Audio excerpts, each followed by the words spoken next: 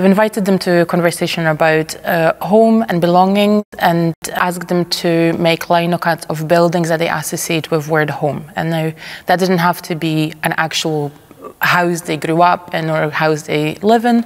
That could be any building whatsoever that invoked that type of feeling, that type of emotion.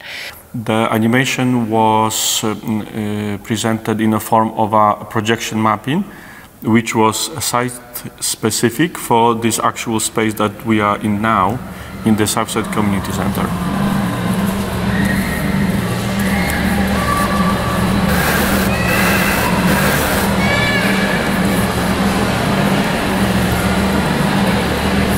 It's absolutely amazing. It's stunning to see what the community can do when they all come together and when there's sort of someone putting putting it together, right? So it's not chaotic. You can see some amazing connections between what people are, were thinking, doing, experiencing. Um, yeah, and some really recurring themes of maybe being a bit nostalgic, uh, but also getting to feel at home here. Ja wziąłem głównie udział w tych warsztatach ze względów, e, jakby to powiedzieć, socjalnych, żeby się trochę socjalizować, żeby spotkać ludzi, którzy się interesują sztuką, żeby spotkać Martę, żeby spotkać Roberta, zobaczyć co robią, ponieważ e, no, be- bez krygowania się żadnego, ja po prostu nie mam talentu plastycznego żadnego i jakby to, co Marta zrobiła z naszymi pracami, e, to jest czysta magia. Uh, and we feel that the final project, uh, which is animation uh, with with sound and um, including interviews with with our participants, um, had amazing emotional response as well from Polish community and from other people who who have similar complex relationship with with home and belonging. Najbardziej mi się podobało właściwie to, że mogłem robić coś, czego jeszcze nie robiłem. Było kreatywne i to właściwie na końcu jakiś kawałek sztuki z tego, można powiedzieć, wyszedł. Wyryłem w linoleum kawałek mojego miasta i właśnie to też będzie na, na filmie, z czego się cieszę. Myślę, że trochę skłaniało do myślenia, gdzie jest mój dom, gdzie, do czego należę, co mi się podobało w tym miejscu, gdzie się urodziłem, wychowałem. artwork kind of relating to the film that we watched upstairs. For example, the collage pieces. Now I understand why it was a collage because it kind of tied in with that. And it was cool to see things in Polish that I could recognize, like words and you know different different uh, references. It was lovely to first of all hear people talk about what home means to them because you could just hear how emotionally connected to what they were saying they were combined with the different styles of art and videography used and like the collage pieces and uh, editing and the animation that was great i loved it I found it absolutely fantastic that it was a participatory project, so the process in making this art I found very sort of uplifting, and, and the colors applied from um, the textures uh, from the areas where the walks were. See, uh, I'm an urban planner, so uh, the fact that it touches on the themes of uh, urban and the buildings and the notions of uh, home and identity as an immigrant as well. Um, I found it very personal and uh, really interesting, intriguing, and uh, it was a great opportunity for a little bit of reflection uh, this evening. Byłam bardzo zaskoczona, bo jak tutaj byłam ostatnim razem, to ta przestrzeń wyglądała zupełnie inaczej, a e, zadziwiła mnie organizacja i cała ta wystawa była bardzo naprawdę dobrze zrobiona. Zawsze będę Polką e, i spotykając e, swoich rodaków, czując e, i, i słysząc, jak oni mają podobne uczucia, jest to takie bardzo mi bliskie i jest to ważne. To było takie bardzo fajne doświadczenie, gdzie, gdzie można e, wyrazić siebie, gdzieś e, pomyśleć, co rzeczywiście jest dla mnie domem, też zobaczyć, jak to się zmieniało na przestrzeni e, czasu.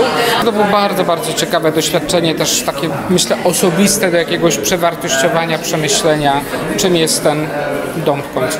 Ale można było zrobić coś zupełnie innego, co, czego, czego, czego się nie robiło, spróbować jakieś techniki. First off, like looking at art slightly differently, so trying to find different textures and different ways to to enjoy color and texture and trying to see the beauty in that and in the world that surrounds us. And on the other hand, with a linocut, it's it's just something that I did not expect to do in my life before. So when I first started, I went like, oh, it's definitely going to be a mess. I'm going to cut my fingers off. Think on one hand, it was a good way for all of us to come together as a Polish community. I think if anything, it really made me realize that now I think of Edinburgh as my home. Uh, because when I see questions about home, this is what I think of. And when I think about Poland, I think about it as Poland, as a different country that I used to live in, country that I used to know. It's really important uh, because we no, none of us are in home because we're immigrants. So forming like a family of people from abroad together, forming a community in a, in a, in a city of which is strange to all of us, but it's our home at the same time. It's important because it's like creating bonding. So it's I think that's it's a really nice uh, approach for it. Najlepsza z tego wszystkiego była e, animacja przez Roberta Motyka zrobioną. E, pokazała polskość, e, zwłaszcza w momencie, kiedy mm, można było zobaczyć te drzwi, które nie były do końca zasłonięte i pomalowane, to jednak się wkleiły w całą rzeczywistość. Tak samo jak chyba Polacy się wklejają w rzeczywistość edynburską. Każdy z nas przyjechał tutaj z jakichś różnych innych powodów i e, tworzenie jakiejkolwiek mini społeczności polskiej jest na tyle ważne, że Polacy potrafią się w magiczny sposób łączyć z innymi ludźmi.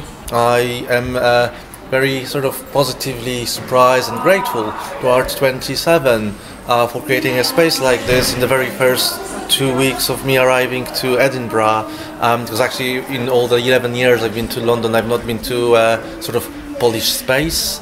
Um, and it's been the first opportunity opportunity in so many years to sort of just come and enjoy being surrounded by my own culture. So that was amazing. That was really that really moved me, and I was really uh, moved by that. I think it was really interesting to think about all these ideas of home and it's so different for different people and something that I can connect with as being someone that lives not in my country of origin and that it's kind of a tricky concept to pin down and I think that kind of came through and was really interesting to think about from different people's perspective. I think it's so important to preserve culture for the next generation and to keep it alive as well that people should be able to have a connection to their homeland and their original culture even in a new place and to take up space and be present however they want to be. There are certain people that don't have any other place to go to if they want to find out more and have opportunity to learn and connect with their culture or their parents' culture just because they don't have the opportunity available to them. So it's amazing to have a place like this to go to and just create those connections and, and feel uh, inspired to stay kind of in contact and keep learning about where you're from and why that's important and maybe share that with others you care about too. After running this project, we are, we're hoping that the next one will bring even more people and we'll, we'll be able to reach people that normally don't um, allow themselves to be re- reached. I think it's important for the community to come together and to have this uh, spark,